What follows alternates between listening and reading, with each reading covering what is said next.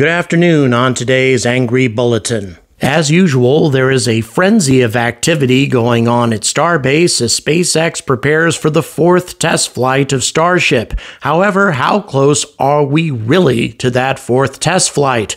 Is SpaceX as prepared to go for another flight as we have been led to believe? Is the FAA satisfied? And if not, how long is it going to be before we actually see a flight? And more importantly, how long is it going to be before Starship is actually operational and capable of putting human beings on the surface of the moon. And in related news, it appears that NASA has finally begun to realize that the third quarter of 2026 is a completely unrealistic time frame to expect Starship to be able to put human beings on the moon, and they are beginning to make changes to Artemis 3. None of this is official, but it's almost certain to happen happen, and NASA is considering two options. One is a very good option, and the other is completely idiotic. All of this and more coming at you on The Angry Astronaut right now. Good afternoon, and once again, welcome to the Angry Bulletin. I haven't actually talked about Starship, at least in a non live stream setting, for a while, and I think it's important that we talk about the current status of Starship and when the next launch is likely to be, and more importantly, what this means for programs like Artemis. As many of us have probably heard lately, it seems that Starship is on the verge of lifting off again, that we are in the final preparation phases. We've had static fires of both the booster and the upper stage, and everything is looking very optimistic. And so we should be expecting the fourth flight of Starship sometime in early May, just as Elon said would happen. But Unfortunately, as always, and I hate to always be the one to bring these sorts of things up, but given that nobody else really seems to talk about it, I think it's important that we do talk about these things simply because it's reality. The FAA has certain requirements as to what's going to have to be done before the fourth flight takes place. And the first and most important thing is the mishap report for the third flight needs to be submitted. And as of yesterday, at least according to my contacts at the FAA, there's no confirmation that this report has been submitted yet. And once again, that shouldn't really surprise us because there were a lot of things that happened, fantastic things that happened in the third flight that were still pretty unique. Things that had never really happened before with the Starship flight. That is to say, out in space, Starship tried to conduct a number of maneuvers, tried to execute a re entry, all of those things being very different than anything Starship has done up to this point, and all of that process needs to be analyzed thoroughly, and also we need to determine what is necessary, what sort of steps need to be taken to try to make sure that that doesn't happen again, and that Starship carries out a completely successful orbital flight test the next time.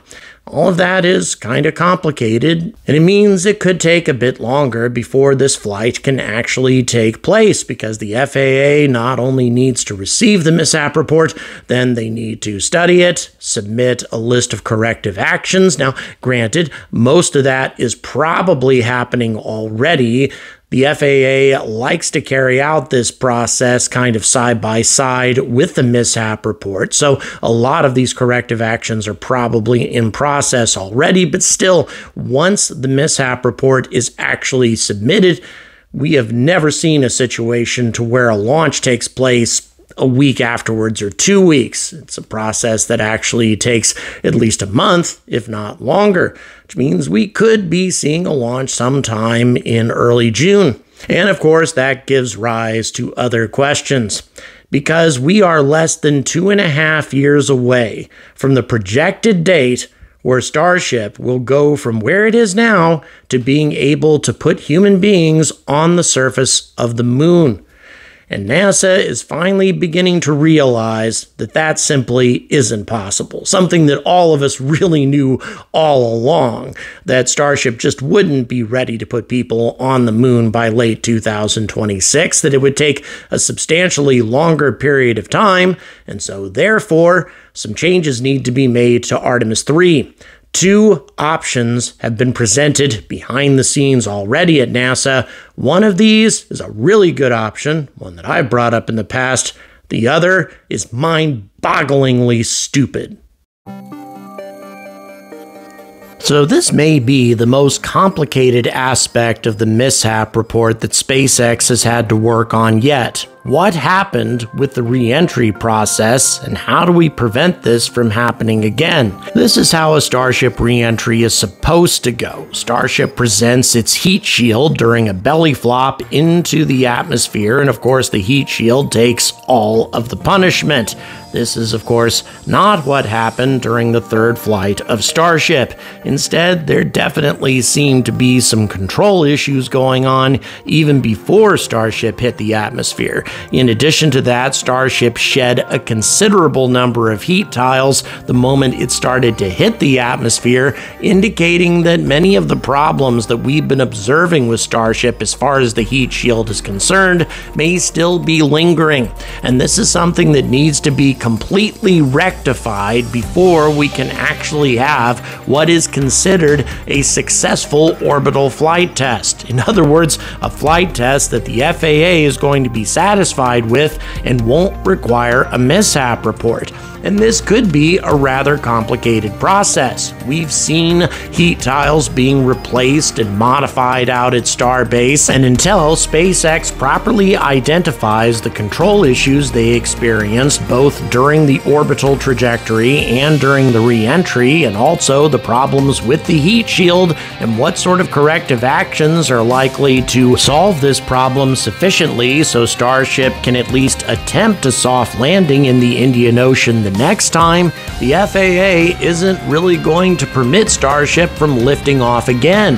Why is this? Well, it's because of safety even though the orbital trajectory of Starship should safely carry it into the middle of the Indian Ocean, regardless of what happens, if there are malfunctions with the thrusters, for example, and it has been suggested that the cold gas thrusters may indeed have malfunctioned, well, have a look at what might happen if we had an early reentry.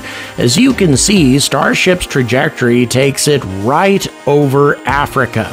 And if Starship were to execute an early reentry at that point, we might have big chunks of stainless steel raining down over South Africa, which would be very unfortunate indeed.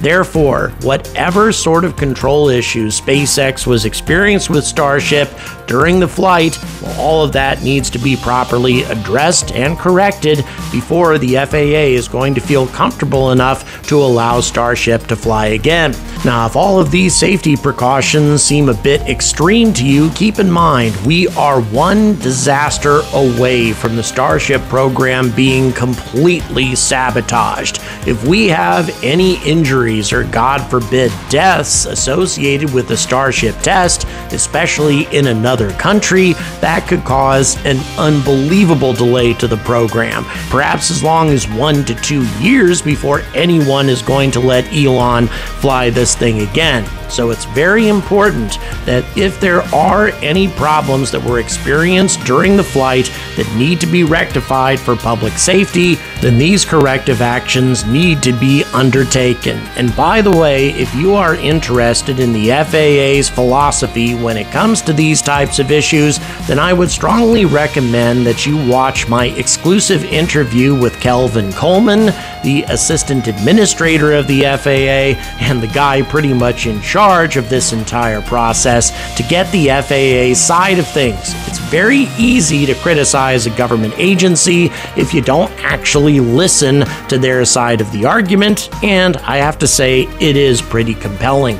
But let's get on to NASA. How is NASA reacting to all of this? Because it's becoming more and more obvious, as I've been saying for quite some time, that even though Starship is undoubtedly the future when we're talking about colonizing the moon, when we're talking about taking large amounts of payload to the moon and hundreds of people to the moon. As far as Artemis 3 is concerned, Starship is highly unlikely to be ready to put human beings on the surface of the moon by the third quarter of 2026. It may be a lot longer than that. And in the meantime, the Artemis program needs to move forward somehow. And this is precisely what NASA has in mind. According to a recent article in Ars Technica, behind the scenes, NASA is now beginning to implement some changes with Artemis 3 or proposing alternatives. And as I said before, one of these alternatives is a very good one, one that I've talked about before, and that is to simply fly Orion and SLS out to the moon, dock with the Lunar Gateway. Of course, the Lunar Gateway would need to be assembled before that could be carried out. However, the first modules for the Lunar Gateway are nearing completion as I'm recording this, and they can be deployed by a Falcon Heavy. That's the plan with those. So, as long as the power and propulsion element and the Halo module are deployed for the Lunar Gateway, this mission could be carried out. SLS simply carries Orion out to lunar orbit, or rather to the rectilinear halo orbit that Lunar Gateway is going to occupy, dock with Lunar Gateway, and the astronauts stay on the space station perhaps for several weeks, carrying out a long term and, in my opinion, important mission to determine what's going to happen to astronauts during long exposure to interplanetary space because the area occupied by the Lunar Gateway, well, that is essentially interplanetary space, radically different from the International Space Station. Out in cislunar orbit, these astronauts are going to be exposed to solar radiation, cosmic rays, pretty much everything the universe has to throw at them without any protection from Earth's magnetic field. It's important that we start getting information about that, and that's one of the main reasons that we are building the Lunar Gateway in the first place. And there are other tasks that could be carried out on the Lunar Gateway as well. For example, perhaps real time control of rovers on the lunar surface. Keep in mind that assuming the CLPS program goes as planned, there's going to be a number of rovers deployed on the lunar surface from some of the later CLPS missions, and perhaps these rovers could be controlled in real time from orbit something that has been talked about frequently as a potential advantage for the Lunar Gateway the ability to have direct line of sight and direct communication to these rovers for a great proportion of the time to where these sorts of things could be maneuvered by the astronauts. And in addition to that, you could also have real time construction of lunar habitats utilizing the Lunar Gateway as a control platform without having to put astronauts on the surface of the moon. So, lots of different potential objectives to be carried out in this Artemis 3 mission if you use the Lunar Gateway.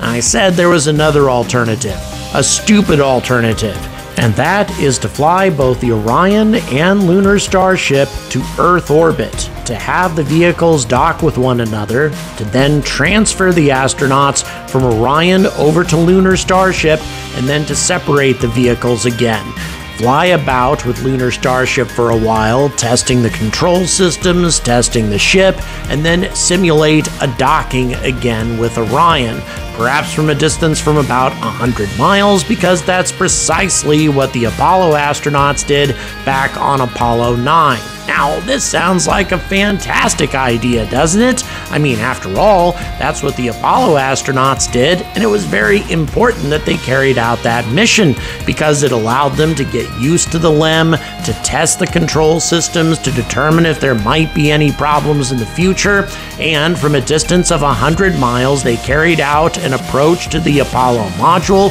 simulating a return from the moon. So, this seems to be a very logical thing to do in preparation for our return to the moon, right? Right? Well, this isn't Apollo, not even remotely. Here's what's different about carrying out this sort of mission and why it doesn't make a damn bit of sense. By the time Lunar Starship is actually ready to go to the moon, Lunar Gateway is almost certainly going to be in operation. And even if it isn't, the current Artemis plan is for Lunar Starship to dock with Orion once. Just one time and then after that, Lunar Starship will be docking with Lunar Gateway. There's absolutely no point in simulating a docking procedure between Lunar Starship and Orion if that docking procedure is unlikely to take place. What might make a little bit more sense is to have perhaps a Crew Dragon dock with Lunar Starship and then to fly Lunar Starship around in Earth orbit for a while, again, getting the astronauts familiar with the control systems, etc., the way the Apollo 9 astronauts did, and then dock with Crew Dragon again. Because if you use Orion for a purpose like this, it is an unbelievable waste. We will be spending $4 billion to not go to the moon. Once again, this isn't Apollo. NASA doesn't have Apollo's budget. If this were to be carried out, this type of mission, that means the earliest we would see another SLS mission would be another year and another $4 billion later, whereas Apollo 9 was followed up by Apollo 10 and Apollo 11 in a mere four months. That's how many Saturn V rockets were launching back during the Apollo era, and that is how few SLS rockets have been approved for the Artemis Artemis program until Congress actually starts feeding the kind of money into NASA that they were getting back in the 60s and early 70s. We cannot be wasting expensive SLS flights on these kinds of relatively useless missions. As I said before, this isn't Apollo 9. This isn't the sort of docking that's going to be taking place over and over again during the course of the Artemis missions. It's going to happen once at most. And then after that, it's going to be dockings with the Lunar Gateway. Orion will never dock with Lunar Starship again, assuming it ever does. I can't believe that NASA is even considering this possibility. A Lunar Gateway mission makes so much more sense. Sure, again, perhaps experimenting with Lunar Starship in orbit does make a little bit of sense as well, but not docking Orion with Lunar Starship. That is just a needless waste. I certainly hope that NASA gets a clue as to what the best option is, and I hope they make a decision fairly soon because we absolutely need an Artemis 3 mission in 2026. We need to see tangible progress with all of this before Congress begins wondering what they're really spending billions of taxpayer dollars on in the first place. I would like to thank Marina Middleton and Andrew Roberts, my latest Patreon supporters. Thank you so much for supporting this channel. We have climbed to over 45% of what we need in order to support future trips to Boca Chica, to the upcoming Sierra Space Dream Chaser launch, and also the first ever vertical commercial launch from Western Europe and that's going to be happening at SaxaVord and Rocket Factory Augsburg in the summer. Your support makes all of this possible, makes it possible for me to bring you coverage of these events on the spot. If you'd like to become part of this community, all the details are in the description. Thank you very much for watching. Please like, please subscribe, and as always, stay angry about space.